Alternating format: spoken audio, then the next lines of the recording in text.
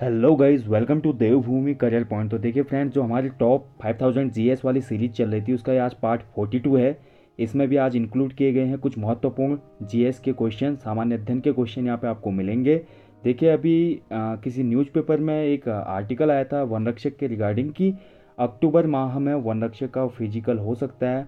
तो अगर फ़िज़िकल होता है अक्टूबर माह में तो उसके बाद काफ़ी कम समय बचा है रिटर्न के लिए, क्योंकि जैसे फ़िज़िकल कंप्लीट होगा, उसके जल्दी एक दो माह के अंतर्गत क्या हो जाएगा, आपका रिटर्न हो जाएगा। तो आपको काफ़ी तैयारी करने का यहाँ पे ज़रूरत है और काफ़ी अच्छी गोल्डन अपॉर्चुनिटी आपके पास कि इसमें आप सेलेक्ट हो जाएँ, क्योंकि काफ़ी वैकेंसीज हैं।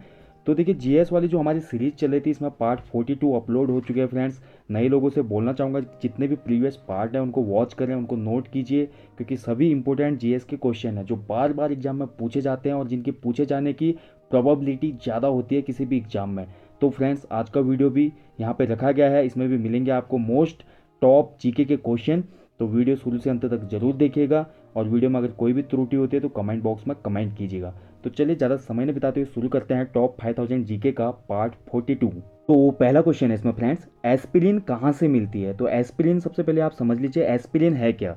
तो एस्पिरिन एक दर्द निवारक दवा है, ठीक है फ्रेंड्स जो कि प्राप्त होती है पेड़ की छाल से, ठीक है? ध्यान रखेंगे, इसको एसिटिल सैलिलिक एसिड भी बोलते हैं, और ये छोटे मोटे जो दर्द होते हैं, दर्द निवारक के रूप में यूज़ किया जाता है, ठीक है? नेक्स्ट क्वेश्चन है, देखिए, सूची वन को सूची टू से सुमेलित करना है आपने। एक तरफ़ हार्मोन दिए गए हैं और दूसरी तरफ़ श्रावण ग्रंथि दी गई है कि कहाँ से ये हार्मोन श्रावित होते हैं। तो अगर ध्यान से देखा जाए तो इसका आंसर हो जाएगा ऑप्शन ए ठीक है? तो सबसे पहले जो प्रोजेस्टोरन हार्मोन होता है, ये गर्भाशय महिला के वहाँ से श्रावित होता है। टेस्टोस्टोरन की मैं बात करूँ, इसका श्रावण होता है अंडाशय पुरुष से, ठीक है? थायरोक्सिन की मैं बात करूँ थायरोक्सिन का स्राव होता है थायराइड ग्रंथि से। और इंसुलिन की मैं अगर बात करूँ तो ये निकलता है अग्न्याशय से निकलता है और इंसुलिन वो हार्मोन है जिसकी कमी से क्या होता है शरीर में? डायबिटीज़ हो जाती है, ठीक है? तभी डायबिटीज़ पेशेंट को हमेशा इंसुलिन के इंजेक्शन दिए जाते हैं, आप जानते होंगे। अगला क्वेश्चन है, इसमें देखिए, वह स्थान जहाँ प्राक अशोक ब्राह्मी लिपि का पता चलता है। तो कौन सा स्थान है ये, ठीक है? तो इसका सही आंसर है मास्की। तो मास्की से ब्राह्मी लिपि के बारे में पता चलता है, ठीक है? और दक्षिण भारत में है ये मास्की मास्की अभिलेख। यहाँ पे अशोक के पुराणों में जो नाम है अशोक का, वो मिलता है अशोक वर्धन। ठीक है, मास्की में जो मिले हैं जितने भी अभिलेख, यहाँ पे अशोक का नाम अशोक वर्धन मिलता है, ये भी महत्वपूर्ण है। क्वेश्चन बन सकता है कि अशोक वर्धन कहाँ पे मिलता है, किस अभिलेख में? अगला देखिए, मध्यकालीन भारत के मुगल शासक वस्तुतः थे। तो जो मुगल शासक थे, वो क्या थे? मतलब उनकी जो वंश था, क्या था वो एक हिसाब से? ठीक है तो ये थे Chagatai Turk. Option C is the right answer next देखिए, दिल्ली का वह सुल्तान, जिसने अपने संस्मरण लिखे थे। तो संस्मरण का मतलब होता है कि अपनी जितनी भी घटनाएँ हुई ज़िंदगी में जितने भी यादगार मोमेंट हैं, उनको लिखना। तो ये था Firoz Tughlaq, option D is the right answer. Next देखिए अब्बाब क्या था? तो अब्बाब क्या था? अब्बाब था, उस समय का एक टैक्स था वो, ठीक है? विभिन्न प्रकार का कर, जैसे ग्रह कर, सिंचाई कर, इसमें इंक्लूड थे। ये था अब्बाव महत्वपूर्ण क्वेश्चन है भी। नेक्स्ट देखिए, भूमि मापने के लिए दिल्ली सल्तनत काल में कौन सा मापक प्रयोग में लाया जाता था? तो दिल्ली सल्तनत, अगर आपने डीपली पढ़ा है इसको तो आप समझ जाएँगे। इसका आंसर होगा ऑप्शन सी, मसाहत, ठीक है? मसाहत को लाया जाता था। भूमि मापन। नेक्स्ट क्वेश्चन है फ्रेंड्स महाराणा सांगा ने इब्राहिम लोदी को किस युद्ध में परास्त किया था? तो देखिए, महाराणा सांगा और इब्राहिम लोदी के बीच 1518 में हुआ था खतोली का युद्ध।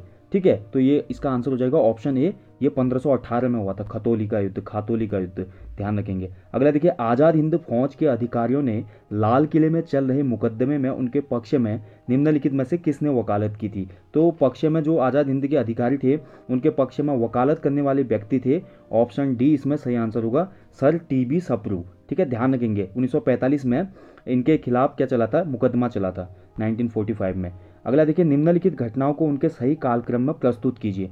तो ये महत्वपूर्ण क्वेश्चन है। देखिए, लखनऊ समझौता, गांधी इरविन समझौता, पूना समझौता, पूना पैक्ट या सविनय अवज्ञा आंदोलन। तो आपको अब इनको कालक्रम की दृष्टि से सीरीज़ में लगाना है। तो सबसे पहले कौन सा हुआ था? उसके बाद कौन सा हुआ था? ठीक है? तो इसका आंसर हो जाएगा ऑप्शन बी ठीक है? तो सबसे पहले हुआ था लखनऊ समझौता, दिसंबर 1916 में। ठीक है? उसके बाद मैं बोलूँ, गांधी इरविन समझौता हुआ पाँच मार्च 1931 को। उसके बाद पूना पैक्ट हुआ था। भीमराव अंबेडकर जी थे इसमें, गांधी के साथ। और ये पूना पैक्ट हुआ था 24 सितंबर 1932 को। इसके बाद सविनय अवज्ञा आंदोलन के अंतिम रूप से वापसी हुई थी 1 अगस्त 1933 को। तो इसका आंसर हो गया option B. One, two, three, four के क्रम में होंगे ये। नेक्स्ट देखिए, वह कौन सी जगह थी जहाँ अखिल भारतीय किसान सभा का पहला अधिवेशन हुआ था? तो अखिल भारतीय किसान सभा, ठीक है? इसका जो गठन किया था, किसने किया था? इसके अध्यक्ष थे स्वामी सहजानंद सरस्वती। ठीक है 1936 में इसकी सभा हुई थी, सबसे पहली जो अधिवेशन बोल सकते हैं हम, ये अधिवेशन 11 अप्रैल 1936 को हुआ था और ये लखनऊ में हुआ था। इसका आंसर हो जाएगा ऑप्शन सी, लखनऊ। नेक्स्ट देखिए, निम्नलिखित में से किसने बंगाल के विभाजन, जो 1905 में हुआ था, के विरोध में आंदोलन का नेतृत्व किया था? तो इसका आंसर होना चाहिए ऑप्शन ए सुरेंद्र नाथ बनर्जी। ठीक है, ऑप्शन ए होगा इसका। अगला देखिए, वह कौन थे जिन्होंने अनुशीलन समिति की स्थापना की थी? तो अनुशीलन समिति जो थी, इसकी स्थापना 1907 में की थी। किसने? वारेंद्र घोष और भूपेंद्र दत्त ने। तो इसमें भूपेंद्र दत्त तो दिया नहीं है तो इसका आंसर हो जाएगा Barindra Ghosh, option B is the right answer. Next देखिए, निम्नलिखित में से कौन से हिमालय के तरुण वलित पर्वत, नवीन मोरदार पर्वत के साक्ष्य कहा जा सकते हैं? तो कहने का मतलब जो हिमालय, आपको पता है, सबसे नवीन वलित पर्वत है हिमालय। तो इसके जो प्रूफ है, वो क्या क्या है इसमें? जो ऑप्शन के अकॉर्डिंग दिए गए आपको यहाँ पे, ठीक है? गहरे खड्ड, यू घुमाव वाले नदी मार्ग, समानांतर पर्वत श्रेणियाँ, या भूस्खलन के लिए उत्तरदायी तीव्र ढाल प्रवणता। तो इनमें से आपको सही चूज़ करना है, ठीक है? तो इसका आंसर हो जाएगा ये सभी, ठीक है? ये सभी पुष्टि करते हैं कि हिमालय क्या है? एक फोल्डेड माउंटेन है, ठीक है? गहरे खड्डे भी हैं, यू घुमाव के नदी मार्ग भी हैं, समानांतर पर्वत श्रेणियाँ भी हैं, और भूस्खलन के लिए उत्तरदायी तीव्र ढाल प्रवणता भी है यहाँ पे। अगला क्वेश्चन है, भारत की निम्नलिखित फ़सलों पर विचार करना है आपने, ठीक है? और विचार क्या करना है? जितनी भी फ़सलें दी गई हैं, उपरोक्त में से कौन से दलहन, चारा और हरी खाद के रूप में प्रयोग होता है? लोबिया, मूंग, अरहर, इन तीनों में से आपको सेलेक्ट करना है कि कौन सी फ़सल है जिन्हें हम दलहन के रूप में भी यूज़ करते हैं, चारे के रूप में भी यूज़ करते हैं और हरी खाद के रूप में भी, जैविक खाद के रूप में भी यूज़ करते हैं। तो इसका आंसर हो जाएगा फ्रेंड्स ऑप्शन डी ये सभी होंगे इसमें, ठीक है? लोबिया, मूंग और अरहर, ये दाल के रूप में भी यूज़ होते हैं चारा भी बनता है पशुओं के लिए और इनका जो वेस्टेज बचता है उससे हरी खाद भी बनती है, ठीक है? महत्वपूर्ण क्वेश्चन है। अगला देखिए, भारत के प्रथम तीन सर्वाधिक गन्ना उत्पादक राज्य कौन कौन से हैं? तो इसका सही आंसर हो जाएगा, देखिए, सब सर्वाधिक गन्ना कहाँ पे होता है? ये मैंने आपको प्रीवियस एमसीक्यूज वाली वीडियोज़ में भी बताया तो इसका आंसर हो जाएगा ऑप्शन सी सबसे ज़्यादा गन्ना होता है उत्तर प्रदेश में, दूसरा स्थान है महाराष्ट्र का और तीसरे स्थान पर है तमिलनाडु, ठीक है? नेक्स्ट देखिए, राष्ट्रीय मानवाधिकार आयोग का गठन कब किया गया था? तो ये काफ़ी बार पूछा गया था। अभी रिसेंटली ये क्वेश्चन आया था कनिष्ठ सहायक के एग्ज़ाम में भी। इसका सही आंसर होगा ऑप्शन ए वर्ष उन्नीस सौ तिरानवे में, ठीक है? नेक्स्ट क्वेश्चन है, देखिए, भारत का कौन सा राज्य सर्वाधिक अभ्रक उत्पादन करता है? तो अभ्रक एक कुचालक पदार्थ होता है। फ्रेंड्स ये इलेक्ट्रॉनिक उपकरणों में यूज़ किया जाता है और भारत का अभ्रक उत्पादन में विश्व में प्रथम स्थान है। और भारतीय राज्य जहाँ पे सर्वाधिक अभ्रक होता है, वो राज्य है Jharkhand. Option B is the right answer next देखिए महाद्वीप अलग कैसे हुए? ये क्वेश्चन आपने पढ़ा होगा छः सात आठ जो एन e की भूगोल है, अगर किसी को अच्छे से याद है तो बिल्कुल आपको याद आ रहा होगा महाद्वीप अलग होने की घटना पे ये क्वेश्चन आता था, मुझे भी अभी तक याद है, ठीक है? देखिए महाद्वीप कैसे हुए? विवर्तनिक क्रिया के द्वारा अलग हुए थे, ठीक है ये? तो विवर्तनिक, जिसको हम बोलते हैं प्लेट विवर्तकनी, सिद्धांत भी बोला जाता है इसको। तो इसका सही आंसर हो जाएगा ऑप्शन बी विवर्तनिक क्रिया से, ठीक है? ऑप्शन बी होगा इसका। नेक्स्ट देखिए, निम्नलिखित में से कौन सा सौरमंडल का भाग नहीं है? तो सौरमंडल का भाग नहीं होगा इसमें, निहारिका। बाकी सभी सौरमंडल के भाग हैं, क्षुद्र ग्रह ग्रह, धूमकेतु। ठीक है, निहारिका इसका आंसर होगा। नेक्स्ट देखिए किम्बरले प्रसिद्ध है। तो किम्बरले की खान आपने कई बार पढ़ा होगा किम्बरले की खाने किसके लिए प्रसिद्ध है? किम्बरले की खाने हैं ऑप्शन डी, नहीं, ऑप्शन इसका बी होगा हीरा खनन के लिए। ठीक है तो अफ्रीका में स्थित है। यहाँ पे सबसे बड़ी हीरे की खान है। ध्यान रखेंगे। ठीक है तो इसका आंसर हो जाएगा ऑप्शन बी। नेक्स्ट देखिए, भारत की संचित निधि से निधि निकालने के लिए निम्नलिखित में से किसका अनुमोदन अनिवार्य है? तो भारत की जो संचित निधि है, वहाँ से हम कुछ बजट या पैसे निकालना चाहें तो किसकी यहाँ पे अनुमति ज़रूरी है? बिना इसके अनुमति के, बिना इसके प्रोटोकॉल के यहाँ पे से पैसा नहीं निकल सकता। तो ये इसका आंसर हो जाना चाहिए ऑप्शन बी भारत की संसद। जब भारत की संसद मंजूर करेगी, तब भारत की संसद निधि से क्या हो सकता है? पैसा निकल सकता है, ठीक है? किसी भी प्रोजेक्ट के लिए, किसी भी कार्य के लिए।